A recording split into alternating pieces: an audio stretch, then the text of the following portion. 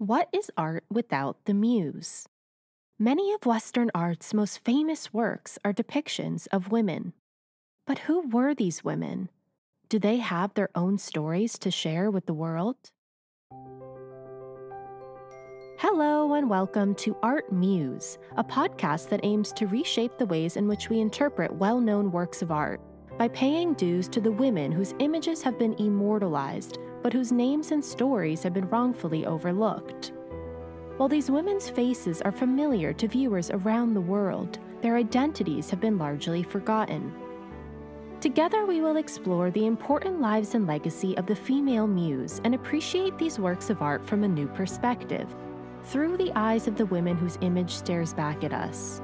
Is the muse in actuality just as, if not more, important than the artists themselves? And I'm your host, Grace Anna. Gustav Klimt's The Kiss is one of the world's most treasured works of art. Viewers flock annually to Vienna's Gallery Belvedere to take in Klimt's masterpiece. Reproductions of the painting adorn college dorm rooms, and as of recent, The Kiss has been the subject of a large immersive exhibition in New York City. The kiss has come to embody love and romanticism. It depicts an intimate moment between a man and a woman, two lovers suspended in time within a brilliant gold background, and a kiss being bestowed upon the cheek of a woman. What many viewers may not know is that the woman in Klimt's wondrous work is in fact a real woman from history, with her own name and story to share. Listeners, I'd like to introduce you to Emilie Flöge, a Viennese fashion designer, independent businesswoman, forward thinking creative, and the most important person in Gustav Klimt's life. She is pictured in the kiss with Klimt himself, who holds her head as he gently kisses her cheek. Soulmates, creative partners, best friends, it's hard to define the relationship between Klimt and Emily, as is the line of muse versus artist. In many ways, Emily and Klimt were each other's muses, continually inspiring each other's creations. Emily and Klimt's love for one another was a love in its purest form and embodied the idealism of a now lost world. Vienna before Hitler's invasion and the fall of the Austrian Hungarian Empire. In this kiss, we get a glimpse of the boundless love between Emily and Klimt, the power of their creative partnership, and Vienna's dawn before its darkest day. So let's dive in. Emily Louise Flöge was born on August 30th, 1874, in the suburbs of Vienna. She came from a family of artisan roots, her grandfather immigrated to Vienna from Hanover and was a successful master woodturner. Her father, Hermann Flöge, expanded the business and became a prominent Meerschaum smoking pipe manufacturer. His smoking pipes were not only sold in Vienna, but internationally, especially popular in England, which attests to the scope and success of his business. Her mother, Barbara Flöge, came from a craftsman family both creativity and handicraft evidently ran through Emily's veins, and she would have learned the importance of skillful artisanship early on. We get a sense of Emily's father's spirit from Klimt's brother, Ernst, who painted Emily's father in 1892. We see a robust man, strong and confident, and dressed in a way that makes his affluence palpable. Klimt himself would many years later paint Emily's father on his deathbed, a breathtaking and intimate portrait of an old man dying. The two portraits work together to give us a personal look into Emily's father at both his life's peak and later his life's end. While Klimt painted Emily's mother as a spectator of an early genre scene, the most noteworthy portrait of Barbara Flöge is actually also in her late age. In his Portrait of Barbara Flöge, Klimt painted Emily's mother at age 75, seated with her hands folded, garbed in black, and set against a vibrant green background. Barbara has a warm smile and welcomeness about her that gives us a sense of her sweet demeanor. These portraits provide insight into the character of Emily's parents, who shaped Emily into the woman she was to become. But back to Emily's childhood. Emily was the youngest of four children, with an elder brother and two elder sisters. Despite being female, the three sisters would have received a traditional education, which included language courses, needlework, and learning to play the piano. Emily's elder sisters trained as seamstresses, and Emily would have learned the trade as a young girl. In fact, her older sister Pauline set up an educational establishment to train dressmakers, an impressive feat for a young woman which Emily attended and became involved with. At the time of Emily's birth, Klimt was already a 12 year old boy. While we can safely assume that the Flöge and Klimt families were familiarized with each other for some time, Gustav Klimt was formally introduced to the Flöge family when his younger brother Ernst married Emily's sister Helen in 1891. Ernst was also a painter who specialized in history paintings. Sadly, after the birth of their baby girl and only 15 months into their marriage, Ernst passed away at the age of 29 from inflammation of the heart. Leaving behind Helen and a newborn baby girl, Gustav Klimt stepped in as guardian to take care of mother and daughter. As guardian, Klimt would have been welcomed into the Flöge family and frequented their home. It is here that the 30 year old Klimt became acquainted with the then 17 year old Emily. We can imagine that Emily, a young, aspiring seamstress with a thirst for creativity, began to look up to the older Klimt, who by this time was well on his way to becoming an established painter. Yet, despite her youth, it is evident that Klimt began to look up to the young Emily as well, we get our first glimpses into the burgeoning friendship between Klimt and Emily from a few of Klimt's paintings from this time, which feature Emily. In the same year that they met, Klimt painted a pastel portrait of Emily titled Emily Flöge, age 17. In fact, the work is one of Klimt's first portraits ever, already sensing in Emily an opportunity for artistic exploration. Emily is pictured in profile with a dreamy expression. Her hair is pinned back with a fashionable tiara, and she wears a white dress. Her youthful beauty exudes a sense of innocence, and at the same time, she feels quite ethereal. There seems to be a sense of distance between viewer and sitter, and subsequently, artist and sitter. In this work, we sense Klimt's shy observation of Emily, the first moments when Klimt and Emily began acquainting themselves with each other, and perhaps Klimt's longing to better understand Emily. We have to wonder did Klimt know that this girl would soon become the most important person in his life? The creative spark that fueled his career, and the woman he would one day kiss in his most famous work. We find Emily in another work by Klimt a few years later. Ernst had begun a fresco titled The Harlequin at the Fair in Rothenburg, but died before it was completed. Just as Gustav jumped in to raise his child, he also stepped in artistically to bring his brother's unfinished works into fruition and completed the work in 1892.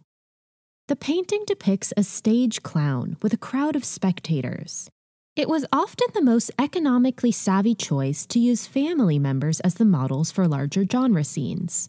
And Ernst did so, painting Emily, her sisters, and her mother into the crowd.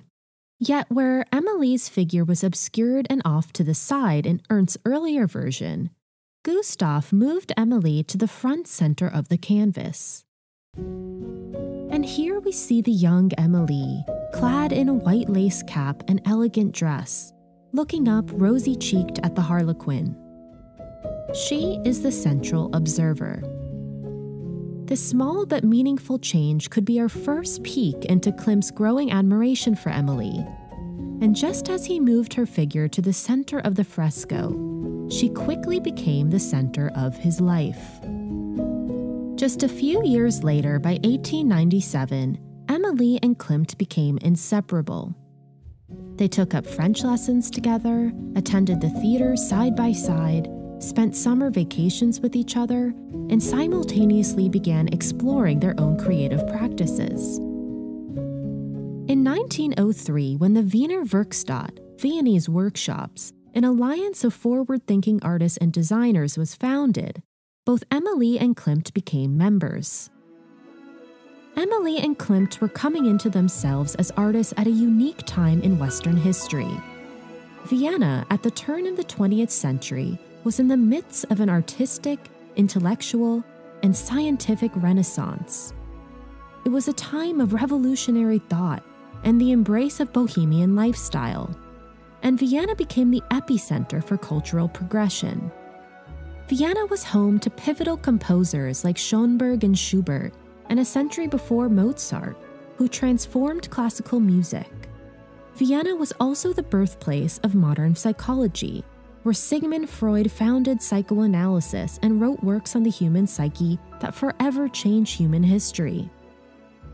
What makes this time all the more significant is that it survived less than 50 years before it came crashing down.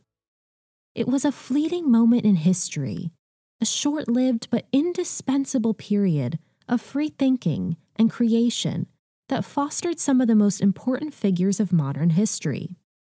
A New York Times article from 1990 described this time as, quote, the brilliant sunset of Vienna in its final glory. Emily and Klimt, as artists and individuals, would not have been able to thrive in the ways they did had they been born a century before or after. Their art was of this special time and would later come to embody the ethereal glory of a lost world. Perhaps it was their destiny to be part of this sunset before the darkness were to come. Around the time that Emily and Klimt joined the Wiener Werkstätte, Emily and her sisters, after many years of training, received their first fashion commission. The task was to design outfits for a cookery competition. Their designs were so well received that they won a large contract and garnered the attention of the Viennese aristocracy. Soon after, in 1904, Emily and her two sisters opened their own fashion salon called Schwestern Flöge, the Flöge Sisters. The salon was located in the Rag Trade District in what was known as the Casa Piccola building, named after the popular coffee house on the ground floor. The space was large enough to also accommodate a private apartment for the three sisters, who lived together with Emily's mother and niece. As we will see, Emily would live and work in this building uninterrupted for the next 34 years of her life. The salon opened when Emily was 31 years old. That three single women, one widowed and two unmarried, opened a business of their own was quite remarkable for the time. This brave initiative by the three independent sisters mirrored their forward thinking designs. Spearheaded by Emilie, the salon specialized in the reform dress, a new progressive dress made for the new modern woman. Rebelling against the restrictive clothing that women wore for centuries, such as corsets, bodices, and girdles, the reform dress's free flowing design was meant to liberate women's bodies, both physically and metaphorically. Drawing influence from peasant smocks, kimonos, and galabeas, these dresses had wide sleeves, empty waists, and were long and billowing, allowing for unrestricted movement. They weren't designed for men to objectify women's bodies, but rather put forward the notion that men and women were equal partners. The physical emancipation of the female body that the reform dress allowed for expressed the larger societal need for liberation of women. The dresses were designed for and designed by strong and confident women. The reform dress, as well as the Schwestern Flöge, became a symbol of female independence and would pave the way for other designers like Coco Chanel with a similar mission of liberation through female fashion. It wasn't just the salon's dress designs that were avant garde, but the salon's interior itself.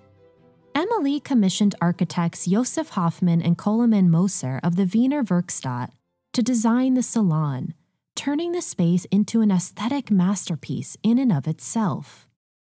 The salon in its entirety was reduced to black and white, and all of the furniture was abstracted into squares and rectangles. The floors of the salon were covered wall to wall with gray felt, which not only accentuated the muted color palette, but would have been comfortable for customers to walk barefoot on while they were being fitted for Emily's creations. Customers entered the salon into a stunning reception room with abstracted chairs for them to sit upon. The reception led into a showroom with vitrines exhibiting samples of Emily's designs, followed by a mannequin room and three changing rooms, all equipped with adjustable mirrors. In fact, there were even secret cupboards behind the mirrored walls. On the back end, there were at least three cutting rooms, as well as an office where the sisters and their accountant would conduct their business. The salon's aesthetic style was consistent through the salon's entirety, down to the signage and dress labels. The salon was not just a place of business, but was an immersive artistic experience, yet another way in which Emily and her salon were revolutionary. The muted colors of the interior would have made the ideal backdrop for Emily's exquisite designs to stand out marvelously, attracting the Viennese elite. The Schwestern Flöge catered to the creme de la creme of Viennese society, and many of the city's wealthiest and most influential women of the time frequented the salon. The dresses were expensive, at least four times more expensive than department store dresses and only the well off could afford Emily's unique designs. Their clientele was so impressive that the dresses were sold internationally, even selling to the Rothschilds. The salon was not only a place to purchase custom made extravagant gowns, but became a place of gathering for high society women. And it wasn't just a meeting place for women, but the salon was actually where Klimt picked up some of his most important commissions. You may even recognize some of these women as the subject of Klimt's best works, garbed in Emily's designs nonetheless. But we'll get into this in more detail later on. I do want to also note for now that the majority of these women were from Jewish aristocratic families. This will be important to our story later on, as Hitler's invasion of Vienna was just on the horizon. While they wouldn't know it at the time, the world the salon existed in and was striving for would come shortly after crashing down.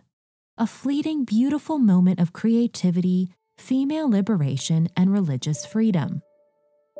The shop ran until 1938, for 34 consecutive years, as we will later see, even surviving the Great Depression. The salon was so successful that the sisters were able to afford a cook, housemaid, and chauffeur for their living quarters. At its height, the salon employed up to 80 seamstresses, three cutters, a bookkeeper, and at least one model. Schwestern Flöge not only represented a new form of fashion, but was at the forefront of shaping it. The unique designs made specifically for the person intended to wear them were artworks in and of themselves and celebrated women in their fullness, in their strength, in their magic. The salon's success was largely due to Emily's immense talent and artistic vision. Emily was the creative force of the trio, while the sisters took on a more managerial role. It was Emily's genius that turned the dresses into one of a kind masterpieces, and it was Emily, with her needle, that carved a path towards emancipation, one dress at a time. Herta Vanke, an employee of Schwestern Flöge remembered of her time working there, quote, It was Emily in particular who kept the salon going. It was due only to her initiative that the firm reached such a height. I was particularly fascinated with how busy she was, how industrious.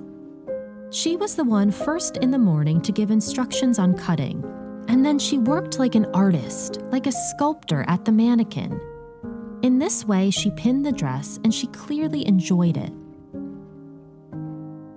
Emilie was really the artistic director and creative force of the salon, And it wasn't just her talent, but also her drive and networking that allowed it to be as successful as it was. Emily traveled to Paris twice a year to attend trade shows and be in conversation with other designers, trips that are well documented. We know with certainty that she was in communication with Coco Chanel, who was just beginning at that time. While Coco Chanel has become a household name, few know that Emily's shop actually opened four years before Coco Chanel's, and that Emily's work paved the way for the young designer. While the reform dress was becoming popular at the time throughout Europe, Emily really elevated the reform dress to what is called the art dress, the reform dress in its highest expression. These dresses were not just inspired by art, but they themselves were art. It was quite revolutionary at the time to see a dress in the same light as one would a painting. And in being respected not just as a designer, but as an artist, Emily was liberating herself as an independent creator. Emily, as a designer, was greatly influenced by Hungarian and Slavic traditional peasant costumes. Emily, Klimt, and other avant garde artists at the time were turning to European folk cultures for inspiration. These artists recognized the brilliance in folk art's simplicity and colorful design. We see this in Klimt's work, his vibrant color palette and two dimensionality. We also see this in Emily's dresses, melding the shape of the reform dress with colorful motifs inspired by folk tradition. Emily also built an impressive collection of Slavic and Hungarian costumes and materials, which she displayed behind glass cases at the salon. In fact, more than 200 individual pieces were found in her estate, a collection impressive enough for a museum. Emily would thoughtfully select and rotate her collection on display.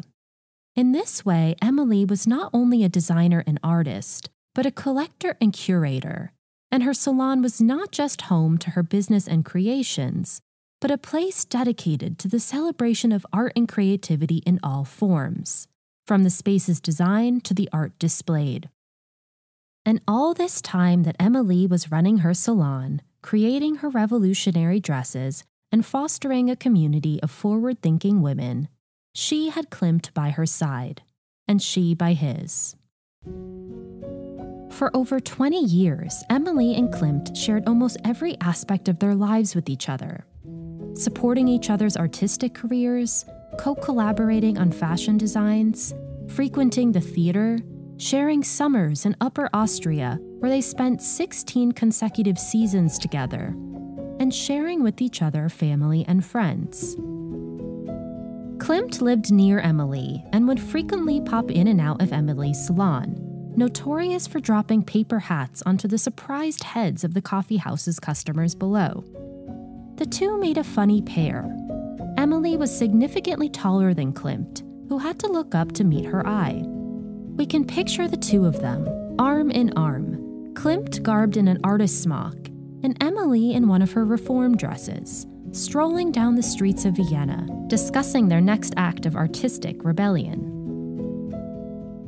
We get the majority of primary information on Emily and Klimt's unique relationship from the almost 400 surviving postcards that Klimt sent to Emily over the span of their 20 year long relationship. The postcards were discovered 30 years after Emily's death, as part of Emily's estate. The letters survived two world wars, the collapse of the Austrian Hungarian Empire, the closing of the Schwestern Flöge, a fire in Emily's apartment, and Emily's own death. They were found in 1981 in neat bundles tied with blue ribbons, preserved as Emily herself must have kept them and cherished them. The postcards themselves aren't grandiose, no lengthy and dramatic declarations of love. Rather, by and large, the postcards are rare snippets into the small details of Emily and Klimt's everyday life that may have otherwise been forgotten. Klimt writes to Emily of the weather, of his hangovers after nights out, of his artistic projects, of the little sparrows in his garden, and of the ups and downs of his mental health. He invites Emily to the opera or on long walks together in the spring continues the conversations that they had had that day, and pleads to Emily to return to Vienna from her annual business trips to Paris. Their love may not be obvious from the letters' language, as there are no outward words suggesting intimacy, but rather in the frequency with which Klimt wrote to Emily. He once wrote Emily eight postcards in one day, in the small doodles he scribbled within his notes, and in the little details that one would only share with their closest confidant and companion. The letters make clear that Emily was the light of Klimt's days, the one he shared his most private of thoughts, the one he missed most when they were apart, and the one who shared in his unique creative visions. As scholar Wolfgang Fischer wrote of Klimt's letters to Emily, quote, he could not live without communicating with her. And this feels very true. The letters detailed their shared language lessons, which Klimt often missed, that they went to the theater six times together in one year alone, that Klimt visited Emily when she was ill and went on a health retreat, and that Klimt dreamt of Emily on his trips to Spain. The mutual respect in their relationship is palpable reading Klimt's letters. They paint the picture of Klimt and Emily as independent artists and individuals who shared the journey of life together in a way that did not compromise their respective freedom. Unfortunately, not a single written correspondence from Emily to Klimt has survived. Not a single word. The letters, while an incredible window into Emily and Klimt's relationship, are thus one sided. We are left having to imagine Emily's responses. Did Emily also write to Klimt several times a day? Did she doodle along the sides of the postcards or share details of her trips to London and Paris? Did she tell Klimt that she dreamt of him too? Though we cannot know Emily's voice through her letters, we do feel Emily's spirit and how she related to Klimt from surviving photographs. Quite a few photographs of Emily exist. The most famous of which are a group of 20 photographs of Emily taken by Klimt in 1906 for the Journal of the German Arts and Crafts. The photo was published as advertisements for the salon. In the photos, Emily models dresses co designed by Emily and Klimt and produced at Emily's salon. The dresses are reform art dresses with high collars, flowy sleeves, and playful patterns. We see before us a beautiful and confident woman standing proudly, wearing the dresses they collaborated on. There also survives incredible photographs of Emily and Klimt together, taken during their shared summer vacations on Lake Attersee. One, taken in 1909, captures Emily and Klimt on a rowboat. Klimt is seated, oars in hand, navigating the waters, as Emily balances herself to stand. She wears a kimono like floral dress with billowing sleeves that obscure her hands. Emily greets the camera with a broad smile and has a childlike playfulness to her. Caught in a genuine moment of joy, Emily, quite simply, is enjoying life. As the photographs and letters show, Emily and Klimt were creative beings who enjoyed exploring the world through artistic means together. They immersed themselves in theater and music, were co members of an avant garde artistic group, observed the natural world with one another, and shared a passion for folk art. And not only did they co collaborate on designs, but they continuously inspired and supported each other's respective careers for over two decades. We see the influence of Emily in all of Klimt's best works the bold colors, the patterned backgrounds reminiscent of textiles, the vibrant and dazzling clothing that his subjects wear and, in fact, the subjects themselves. It was Emily who introduced Klimt to the wealthy patrons of her salon and encouraged them to commission a portrait by Klimt. And it was Emily's dresses that these women were forever immortalized in. One such woman was Adele Bloch-Bauer, whose portrait by Klimt later became the focal point of an international legal dispute and the subject of the film Woman in Gold. It was Emily who introduced Adele to Klimt, and it was Emily's dress that Adele is eternalized in. While Emily provided Klimt clients, in return, his paintings acted as brilliant advertisements for the salon. Klimt's featuring of Emily's designs was an ode to the woman behind his greatest works, and a show of his solidarity with the feminist movement she was at the forefront of. Fashion dominates the paintings from the peak of Klimt's career, and Emily's influence is the heart and soul of these works. And then, of course, there are Klimt's masterpieces that feature Emily in the flesh. In 1902, at the age of 28 and shortly before Emilie opened her salon, Klimt painted a full length portrait of Emilie. She stands confidently, with her hand on her waist, making direct eye contact with the viewer.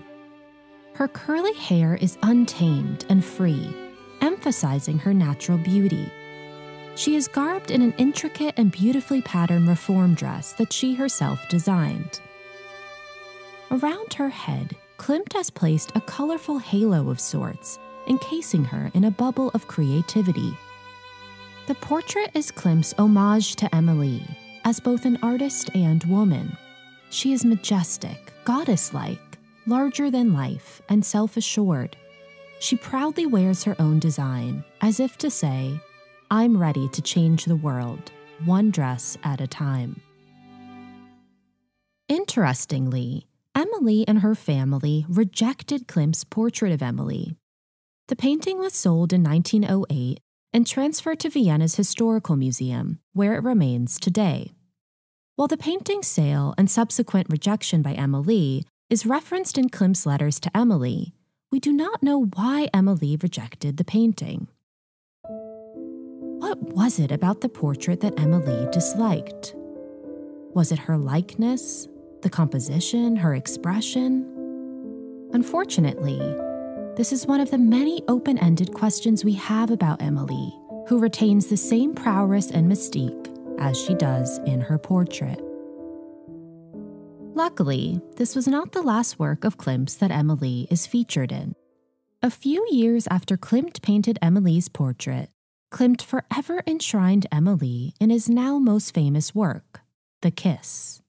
Klimt painted his treasured masterpiece between 1907 and 1908, at the height of both his and Emilie's artistic careers. The painting, a perfect square, is life size, measuring almost six by six feet. In the kiss, we see Klimt and Emilie upon a bed of flowers. Klimt stands while Emilie kneels on her knees, a small allude to Emilie's taller height. The figures are set against a Byzantine gold background, suspending them in time and space. They are both dressed in what we can imagine are Emilie's designs. Klimt's robe, decorated with gray, black, and white rectangles, is reminiscent of the minimalist design of Emilie's salon, and Emilie is clad in a colorful, free flowing dress that evokes the folk art that they both loved. They seem to be encased within a golden aura, a holy container where only they exist. And of course, the painting captures Klimt bestowing a kiss upon Emilie's cheek, who turns to us in this moment of intimacy, eyes closed, as she receives Klimt's act of adoration. It is a moment of mutual affection and abandon, a moment of love in its purest form, frozen in time. There is an innocence in their kiss, a kiss without obvious sexual connotations, a kiss that could be between lovers, friends, soulmates, life partners, and co creators. It is a love without parameters or consequence, a kiss that could mean everything and nothing at once. The kiss is devoid of any narrative and context. As scholar Gottfried Fliedl describes, there is a, quote, ambiguous preciousness within the work that places Emilie and Klimt within their own special world. It is a world that's theirs and that we are not a part of. The ambiguity is not unlike the elusivity of their relationship at large. While there is no doubt of Emilie and Klimt's love for one another and the significant impact that they left on each other's artistic careers, scholars have attempted to define the exact nature of Emilie and Klimt's relationship for decades. Was their relationship platonic or romantic? Were Emilie and Klimt secret lovers or just lifelong companions? And what is the meaning of the kiss that Klimt bestowed upon Emilie? What details of their lives survive do not provide a clear answer. Although they shared their lives together, Emilie and Klimt never married. There's no record of Emilie ever having any other romantic relationships. While Klimt had known affairs with some of his models, he also never married, and Emilie was by and large the most consistent and important relationship in his life. There have been numerous theories put forth by scholars, many admittedly quite sexist, in regards to the duo's relationship status.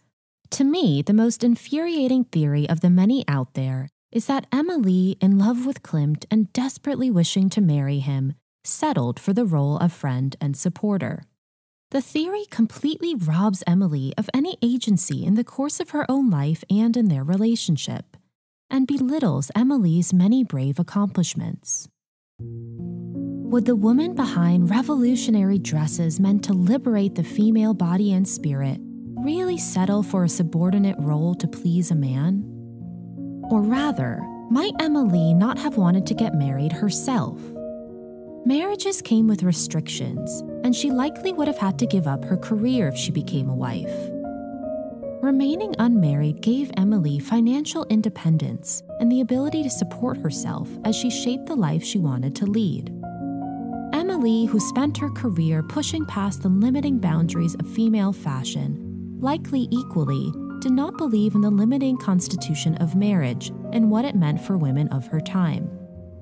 What seems far more likely is that Emilie and Klimt, two forward thinking artists, chose to lead their own free lives together.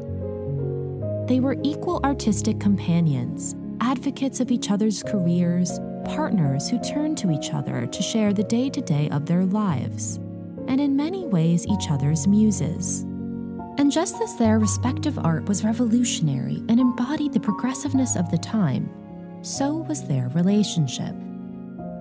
As scholar Ruth Millington so beautifully put it, quote, Klimt and Flöge, in a process of co creation, became standard bearers of the new liberated man and woman, the alternative king and queen of fashionable Viennese society. The love between Klimt and Emilie escapes the obvious and remains an enigma. It is a love free of definition and complete understanding. It is a love hidden in the lines of Klimt's letters, captured in the way Klimt takes his photos of Emilie, painted into Klimt's most glorious works, and a secret whispered as Klimt pecks Emilie in The Kiss. Klimt ended the last surviving postcard to Emilie with a note saying, quote, I should like to get away. While Klimt was referring to leaving Vienna for the countryside, he would unexpectedly die of a stroke just six months later, on February 6, 1918, at the age of 56. On his deathbed, his final words were, Send for Emilie. Emilie was 44 years old when her life companion passed away. Emilie was so important in Klimt's life that she was mentioned in his obituary, despite not being formally his spouse. Along with his two sisters, Emilie inherited Klimt's estate and dedicated the rest of her life to preserving and protecting his legacy. Emilie spent an entire year after his death cleaning Klimt's studio. At the salon, Emilie created what was referred to as the Klimt Room, a room where Emilie kept Klimt's art, furniture from his studio, and some of Klimt's most treasured possessions, and a place she could honor the memory of her greatest life companion. An employee of Schwestern Flöge recalled, quote, I also had the privilege of being taken regularly to her holiest of holies, the Klimt room, and being permitted to dust there, tidy up, and so on.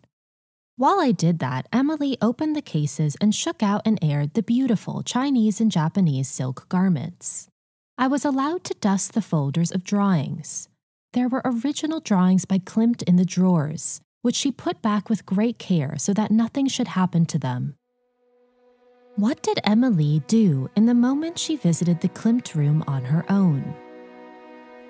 Did she reread the painter's letters to her, sit on the chairs that had once adorned his studio, brush her hands against the drawings that Klimt once made with his own hand?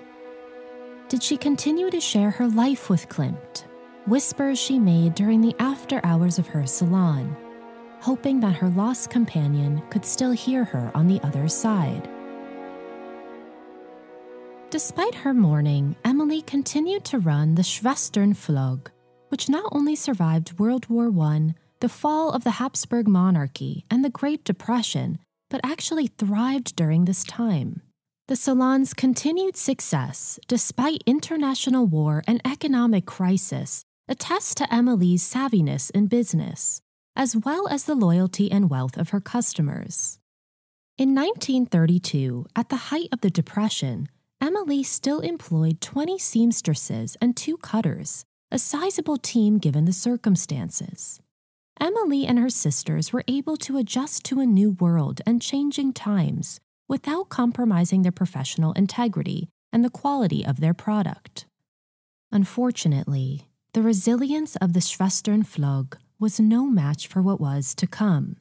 On March 12, 1938, Hitler marched into Vienna and forcibly annexed Austria into the German Reich. The sun of the cultural and artistic progression had finally set, and a great darkness had descended. The Nazis viewed Schwestern Flöge as a symbol of aristocratic decadence, and after 34 prosperous years, the salon was forced to close. Emilie and her sisters tried to sell the beautiful furnishings and special made objects that decorated the salon for decades but they were deemed worthless. Emilie took with her her folk costume collection and a few small items originally belonging to Klimt. The salon and apartment were demolished, and with it the life that Emilie once knew, and the sisters were forced to relocate. The Nazis not only viewed the salon as representative of an aristocratic elite, but specifically as a place with ties to the Jewish upper middle class. The majority of the salon's clients were of wealthy Jewish families. These were the same women forever captured in Klimt's masterpieces, who were now fleeing for their lives. And in fact, some were not so fortunate. We know that at least one of the subjects of Klimt's portraits, Amalie Zuckerkandl, was murdered along with her daughter in a concentration camp. Emilie lost her most important customers in the most devastating sense of the word and was left to grieve the lives of the women who most supported Emilie and Klimt throughout their careers. In many ways, Klimt's portraits of these Jewish patrons not only preserve a world that no longer exists, but the women who Hitler tried to erase from it, forever memorialized in Emilie's best dresses. Emilie relocated to a new apartment in Vienna, where she attempted to rebuild her life in an unrecognizable world. She continued to work from her top floor of her new home, although she was never able to regain the success she once had. In the final days of World War II, in 1945, her apartment caught fire and destroyed the majority of her belongings, including much of her garment collection and many of her treasured items from Klimt. We can only imagine how devastating this fire must have been for Emilie as she watched the last remnants of her relationship with Klimt and her life from a vanished world go up in flames. Emilie, with the items of her past that she could salvage, lived a solitary life for the next seven years until she died on May 26, 1952, at the age of 77 from kidney failure. She was buried in the Flöge family vault at the cemetery in the 11th district of Vienna, in a soon forgotten grave only recently rediscovered in 2006. She was among the last survivors from a completely vanished world. A world that she and Klimt once explored excitedly together a world in which she fought for female liberation through her dress designs, a world that now only exists within a painted kiss. Unfortunately, only a handful of Emilie's dresses still exist today. Thanks to the discovery of her estate in 1981, historians have been able to preserve Emilie's surviving belongings. The estate contained all of Klimt's letters to Emilie, a few of her unfinished designs, her remaining textile collection, the photo album containing the fashion photographs that Klimt took of Emilie, and jewelry that Klimt had custom made for Emilie from the Wiener Werkstätte. These items survived against all odds and were with Emilie in her last days. They remind us of the resilience of Emilie's spirit and of the undying love between her and Klimt. While Klimt has become one of the most famous artists of our time, Emilie has unfairly fallen into relative obscurity. My hope is that this episode can be one of many initiatives to share Emilie's forgotten legacy. The next time you look at Klimt's The Kiss, remember Emilie as the fashion designer on the forefront of the fight for female liberation, even preceding Coco Chanel. As the youngest of three sisters who, as single women, ran their own successful business for over 30 years. As a woman who not only inspired, but made possible Klimt's best masterpieces. And as a woman of resilience who remained in her city through its darkest days. The kiss that Klimt bestows upon Emilie is just as fleeting as the world that they lived in. In this kiss, time is suspended, and we are, just for a heartbeat, allowed to witness a magical moment in time, not just in Emilie and Klimt's lives, but in a world that no longer exists. Experts have been asking the wrong question in regards to Emilie and Klimt. Instead of the constant deliberation over the nature of their relationship, the real question is how can we allow Emilie and Klimt's love to challenge our limiting understanding of what love can be? Instead of trying to fit their relationship into a box, Emilie and Klimt remind us that the truest love cannot be contained or defined. Maybe we're not meant to understand the love between Emilie and Klimt. Maybe their love was theirs and theirs alone, and we are lucky enough to witness just one small kiss. I hope you have enjoyed this episode on Emilie Flöge. I have included images, resources, and suggestions for further reading on the Art Muse website and Instagram. Art Muse is produced by Kula Production Company. Today's episode was written by me, your host, Grace Anna. Stay tuned as I continue to share the stories of the women behind some of the world's most important works of art. Until next time, bye for now.